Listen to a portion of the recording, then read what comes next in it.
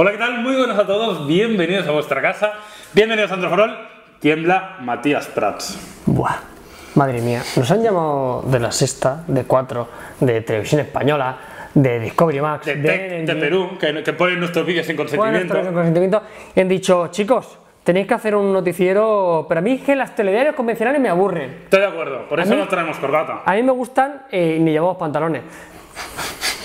¿No? Siempre se dice. Yo llevo. ¿Qué llevas debajo del.? Ay, No se Yo puede. llevo ¿eh? pantalones, Yo me voy a levantar, llevo pantalones. yo no puedo. Que conste. No puedo levantarme, también los llevo. Sí. Oye. Luego habrá aquí. Venga, Hostia, nos hemos. Noticias de Android. Ya está. ya, ya lo. Joder, tenemos pensado cómo vamos a anunciar esto y al final, mira, como siempre nos salen las Ha cosas quedado como genius lo que muy, somos. muy amateur. Venga, eh, efectivamente en una sección vamos a repasar la actualidad de Android de los últimos días, vamos a comentar las noticias que ya hemos visto y Carlos y yo pues daremos nuestra más que cuestionable opinión. Sí, sobre todo esto es opinión. Yo creo que es interesante ver un repasito, pero sobre todo es también muy importante que vosotros los comentarios queremos saber eh, qué, qué siente la comunidad, cuáles son sus sensaciones y así entre vosotros también interactuáis, vais comentando y creo que puede quedar un foro bastante chulo. Así que, ¿quieres que comencemos, Carlos? ¿Te Venga, bien? vamos a comenzar. Venga, cuéntame cuál es la primera noticia. Bueno, eh, seleccionamos una del, del Oppo N3. Ya sabéis que nosotros ya analizamos en su momento el N1. Sí. Ha salido una filtración de una imagen de, en, en GSM Arena, por lo cual es bastante fiable. Para el que no lo sepa, el Oppo N1, su principal virtud de este fabricante chino es que tenía la cámara rotatoria y por lo que ¿Os se ha podido ver. Lo que se ha podido ver en el render es que sigue manteniendo esta idea, creo que es un acierto, y en una disposición eh, cambiada que me parece bastante atractiva. Exacto, a mí me gustó. Yo recuerdo, Carlos, cuando lo estuvimos viendo, no sé si te acuerdas, que jugábamos bastante con el rollo de la cámara. Se utiliza más de lo que parece. Sí, creo que es una buena idea, de verdad. O sea, poder tener una buena cámara para los selfies, ya sé que diréis, estáis obsesionados con los selfies. Quizá algo de razón tengáis. Pero aún ya sí, a mí me parece una muy buena idea. Creo que es bastante funcional y ya nos gustó en el Oppo 1 N1. Y este N3, con o sin cámara, la verdad es que tiene buena Y pinta. también es curioso un poco analizar el tema de que, se, de que se salta el L2, eh, G3, Z3. Esto suele ser bastante habitual. Aquí hay mucho marketing. Que suelen detrás, ¿eh? saltarle el número para igualarse con el resto de fabricantes, así que esperamos. Oppo es una marca que nos gusta bastante y no hay muchas especificaciones, pero a la que podamos intentaremos conseguirlo. Sí, seguramente pues vendrá un poquito al, al nivel de un tope de gama, porque Oppo, la verdad, Xiaomi, efectivamente, la verdad es que este terminal es un poco su buque insignia y seguro que, que apostarán fuerte por él. Eh, tenemos más noticias y una que ha sonado mucho, sobre todo esta mañana ha sido, ha sido la presentación, ha sido referente a Android One. Como Mm. sabréis algunos de vosotros, Android One es la apuesta por parte de Google de cara al sistema operativo para mercados emergentes como la India, el sudeste asiático, el cual se instalará en algunos terminales. Y básicamente eh, lo que viene a ser es, es Android y tiene algunas características propias, como por ejemplo que tiene soporte directo desde Google durante dos años. Yo creo Bueno, que este pero, tema eh, curioso cuanto menos. es totalmente y, y clave. Yo creo que es muy clave para terminales muy baratos que van a costar por debajo de 90 euros. Que también hay que ver en la India cuántos son 90 euros. Yo decir, no, yo no domino, a mí, ¿eh? a mí no me parece demasiado, aparte es, un- es una alianza, por lo menos a día de hoy, con Mediatek, también Qualcomm tiene la posibilidad, pero sobre todo se han presentado tres terminales Sí. y vamos a pegar un repasito, si te parece, cuáles son algunos de ellos, para que veáis un poco las especificaciones y sin duda vienen a copar eso, a, a un mercado emergente. Hay muchos millones de personas en ese mercado de acuerdo. y creo que es un movimiento muy interesante por parte de Google. Sí, se ha presentado el Spice Dream, que es un terminal con, bueno, eh, un quad-core a 1,3, pantalla de 4,5, 1 GB de RAM, eh, 4 GB de almacenamiento interno empleable con micro SD. Suficiente, vaya. Y sí, y una batería de 1700 mAh, lo que vendría a ser a día de hoy un terminal de gama un baja. terminal de gama baja y el resto por lo que estamos viendo diferentes sobre todo diferentes fabricantes y yo creo como si fueran una especie de operadoras que, lo, que lo distribuirán No sé de dónde han sacado los nombres. El Carbon Sparkle 5. Guau, me encantaría tener un Carbon Sparkle Yo también, que además eh, vienen diferentes colores, una de las cosas que tiene, Micromax Canvas A1, bueno, básicamente vienen a ser terminales de gama baja, quad cores, giga de RAM, batería que no llega a los 2000 mAh, relativamente poco almacenamiento con micro SD, pero lo que decimos, soporte directo desde Google y, Carlos, esto es, esto es importante lo que vas a decir ahora. esto es muy importante lo que voy a decir, acaba de salir una noticia que dice que HTC, Lenovo, Asus y Acer se, se suman al, al carro de Android One, además de Qualcomm como fabricante de procesador. Yo creo que por la experiencia de estas firmas, por la capacidad de distribución y por, bueno, por el bagaje ¿no? que tienen ellos fabricando, creo que es clave que se apunten bueno, a esta gama dirigida a mercados Es emergentes. que había salido algunos países que incluso el, el- el acceso a, a terminales de este tipo era un 20%. O sea, quiero decir, un 20% de miles de millones que en, estas poblaciones puede ser un, un bombazo. Dime la población de India. No sabría decírtelo, Vale. pero son muchos. Seguro, mucho. Y vam- vamos a seguir con China y en este caso se ha presentado ya oficialmente, ya tenemos incluso la página web y se puede preordenar uno de los terminales chinos más esperados y que aquí no hemos probado todavía y mucha gente nos lo reclama como es el fabricante Meizu. Pues en este caso el, el MX4 es una realidad. Si hablamos un poquito del aspecto físico, Meizu tengo muchas ganas de probarlo, Mucho. no hemos tenido Es opción. más, mucha gente- El MX4 seguro que lo analizaré. Mucha gente nos dice que Xiaomi nos gusta mucho hasta que probemos un Meizu. Dice que es Mm. un rival súper directo.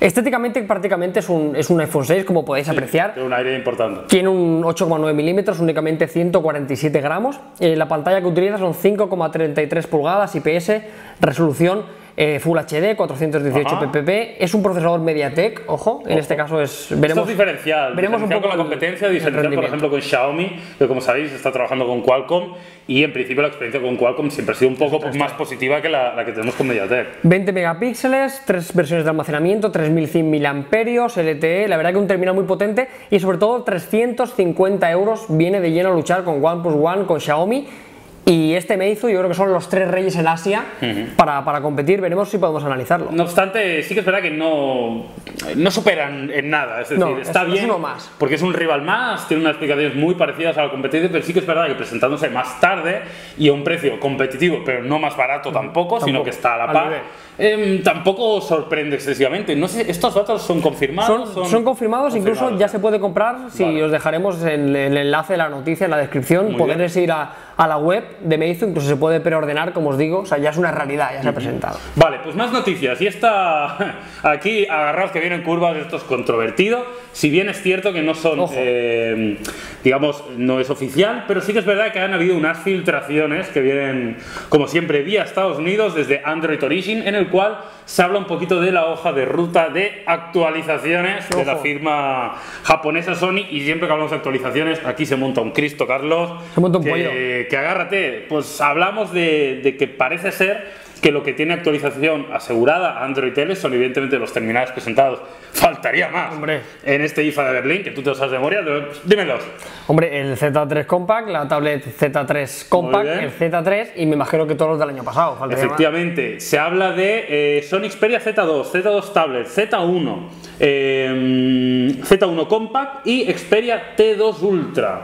La verdad es que aquí echamos de menos algunos terminales de gama media. Y uno de los confirmados que por Twitter mucha gente ardió y en nuestro Twitter no lo ¿Gente comentaron. por Twitter? Hombre, O sea, la gente... se- se- eh, ¿Ves las llamas? Hay combustión. Hay combustión. Hay combustión, sobre todo porque uno de los terminales que analizamos y que nos gustó bastante hace un tiempecillo, como es el Xperia SP, ese problema un poco que tiene Sony, entre comillas, con que saca tantos terminales, eh, en tiempo no hace tanto, pero claro, ya generacionalmente sí que se ha quedado un poquito atrás. Y es un terminal que se vendió mucho en operadoras, creo que Orange lo ofreció un montón, o sea, mucha gente tiene ese dispositivo y se va a quedar sin KitKat. Es que realmente, si, por ejemplo, actualiza el Sony Xperia Z1, pero es que el Sony Xperia Z Se, vendió- realmente se vendió como churro. no tiene ni dos años, ¿no? No. Creo recordar. O sea, no llega a dos años y estamos hablando que es un terminal que va a quedar sin actualizar. Hablamos hace un momentito, los terminales que ven con Android One tienen un soporte directo desde web durante dos años, ¿no? La verdad es significativo y veremos cómo evoluciona este tema, que sé que os preocupa y a mí me preocupa mucho también, Y si hablamos de software y hablamos de política de actualizaciones, hay una marca que normalmente lo suele hacer bastante bien, es la segunda noticia que os vamos a... a- Eres, eres el, el- O sea, hilando noticias soy, no hay nadie como soy tú. el hilador. El hilador. Oye, te, voy a, te voy a nombrar hilador oficial. En este caso es una noticia bastante simple, pero que viene muy al hilo a, a la de Sony. En este caso vamos a hablar de Motorola. Eh, en este caso es un poco el, el bautizo que le han dado a su capa de personalización, Pure Edition. Y hemos seleccionado esta noticia para hablar un poco, sobre todo contrapartida ante en el tema de Sony. En este caso Motorola ha apostado por Android eh, puro, Android limpio y únicamente añadiendo cuatro o cinco aplicaciones o algunos gestos, algún apartado de software que realmente le aporta valor. Al tener una aplicación y un stock Android tan limpio, actualizar resulta mucho más sencillo. Esto es un poco la contrapartida. También es verdad que siendo de Google tampoco. Hombre, también ayuda. claro, evidentemente ayuda mucho, ¿no? Pero sí que es verdad que hemos alabado mucho la política de Motorola. Nos gusta eso y no sé a ti qué te pareció, Carlos. A mí, particularmente, me parecen aportes interesantes, sobre todo lo relacionado con comandos de voz. Yo creo que es algo que va a ir incrementándose, sobre todo ahora con wearables, que tiene mucha pinta de que interactuar con la voz tiene Gestos. sentido. Y a mí me, me gustó. Yo lo estuvimos viendo en la presentación, ¿te acuerdas? Con el nuevo Moto X y creo que es algo que aporta valor. Mm, Puede ser que algunos usuarios no lo usen mucho, pero a mí me gusta poder interactuar con la voz. Sí, es que es- aparte de lo de la voz, al final de la capa de personalización, al final ves capas que ves acciones y ves opciones que dices, hombre, pues de forma independiente sí que es interesante, pero luego en el día a día no vas a utilizarla. Me refiero al tema de pop-ups, al tema de multitareas un poco sobrecargadas, aplicaciones que se meten en capa de personalización y muchos de vosotros tendréis en el móvil aplicaciones que diréis, Mm. esto no lo he utilizado en la vida.